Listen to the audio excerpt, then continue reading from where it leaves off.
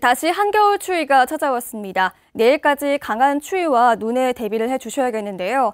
현재 위성 영상 보시면 바다보다 찬 공기가 북쪽에서 내려오면서 서해상에 눈구름대가 만들어졌습니다. 이 영향으로 제주도도 산지에 눈이 내리고 있고요. 아침 출근길 해안 지역에도 눈비가 섞여 내리는 곳이 있습니다. 눈은 점차 전 지역으로 확대가 되겠습니다.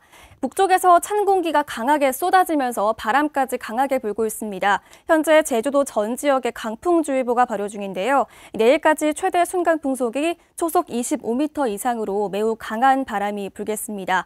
해상에도 강풍이 몰아치면서 제주도 전해상에 풍랑특보가 발효 중이고요. 산지에는 대설주의보가 발효 중입니다. 산지에 눈이 쌓이면서 현재 1100도로와 516도로는 소형 차량은 월동 장구를 갖추고 이동하셔야 됩니다. 구, 결빙 구간이 많은 만큼 출근길 안전 운전 하셔야겠고요. 이번 눈은 내일 오후까지 이어지겠습니다. 주로 산지를 중심으로 큰 눈이 예상되는데요. 산지에는 최고 20cm까지 많은 양이 내리겠고요. 중산간에도 최고 10cm가 예상됩니다. 특히 오늘 아침까지 그리고 오늘 밤부터 내일 아침 사이에 눈이 집중되겠고요. 눈비가 섞여서 내리겠습니다. 이어서 자세한 지역별 오늘 날씨 알아보겠습니다. 현재 기온 북부와 서부는 2도, 동부와 남부는 1도를 보이고 있지만 찬바람 때문에 체감 온도는 영하 4도 선까지 내려가겠습니다. 낮에도 강추위가 이어집니다. 북부와 동부는 3도, 서부는 4도에 그치겠습니다. 도서 지역에서 오늘 강한 바람과 눈에 대비를 잘 해주시기 바랍니다.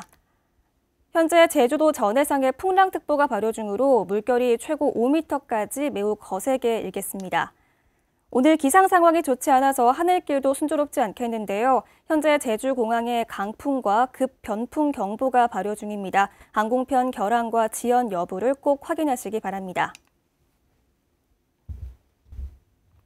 주간 날씨입니다.